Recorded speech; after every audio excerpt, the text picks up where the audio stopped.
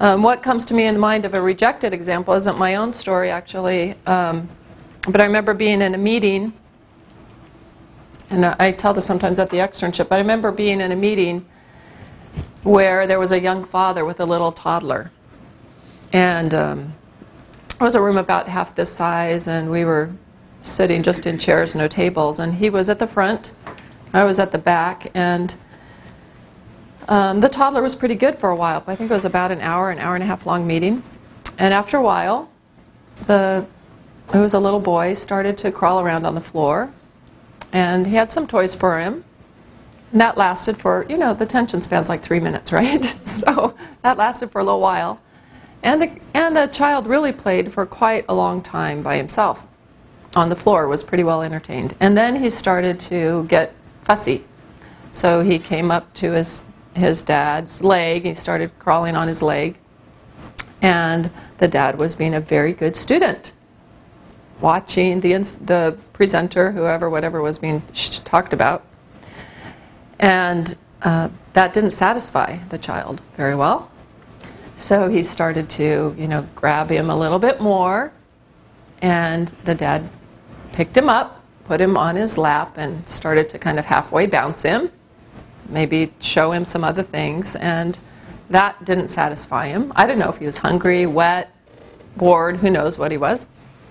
Um, and that went on for a little while, and then the child got fussier so the dad stood up. He's really trying, right? He stood up, to, stood along the side of the wall, and, and but he's still really trying to pay attention to whatever's happening in the class.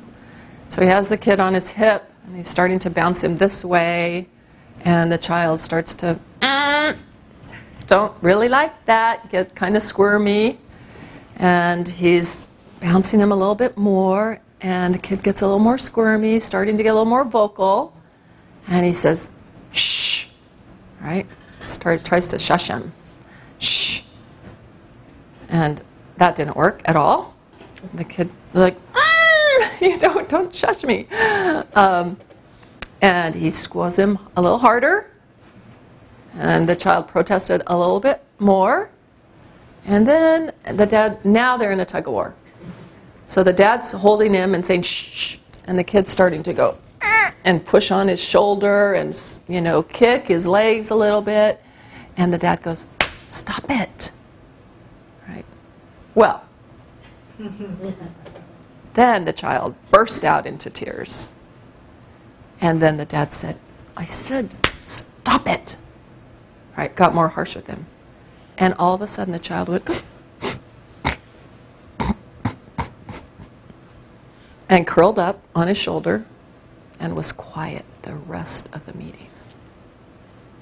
Right?